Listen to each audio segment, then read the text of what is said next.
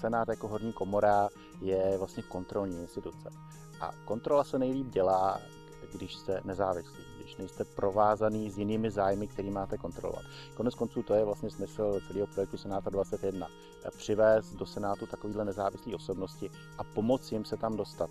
Jo? Protože těch nezávislých osobností po republice je dost, ale když jdou sami za sebe, nepodpoří se vzájemně, nepropojí se, tak nemají takovou sílu.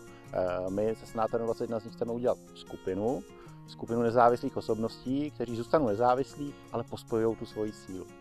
No a když jsme se rozlížili, koho bychom oslovili, tak Přemek byl jako jeden z prvních lidí, který mě napadli.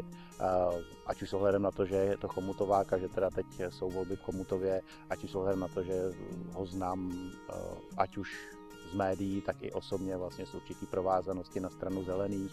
Takže když jsme si na začátku dali prvních deset men, který oslovíme s projektem Senátor 21, tak Přemek tam byl na prvním místě a já jsem za ním zajel tenkrát do Dvora Králové a jako fantastický bylo, že jsme se dohodli snad během 10-12 minut, že já jsem představil ten projekt a on říkal, jo, to je přesně to, co hledám, byla to láska na první pohled.